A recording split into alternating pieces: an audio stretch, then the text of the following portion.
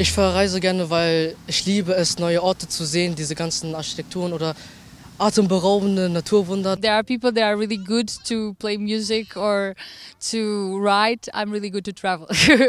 Wenn ich Geld hätte, dann würde ich einfach reisen, weil es Spaß macht und andere Kulturen kennenlernen ist immer, denke ich, was sehr Positives.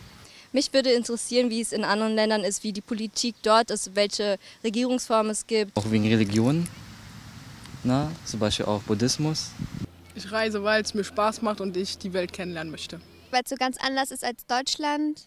Und weil man neue Sachen ausprobieren kann. Ich finde es ganz wichtig zu reisen, weil man ja dabei auch ganz viel lernt und ganz viel über andere Leute lernt, über andere Kulturen und wie andere leben und dadurch dann irgendwie auch ähm, sich selbst findet. Und Alles in Afrika ist ein interessantes Ziel politisch. Es ist, außerhalb Europa ist halt viel los. Ich würde gerne noch nach Indien reisen. Nach Karibik äh, oder die Malediven. Von hier bis Brandenburg. Ganze Welt, Weltreise. Ich würde gerne nach Japan. Und New York auf jeden Fall. Israel würde ich mir auch mal angucken.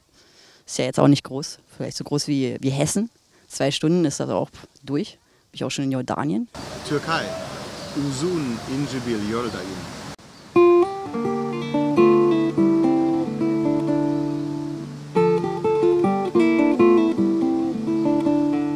Fluter. Wir, sind, dann mal weg.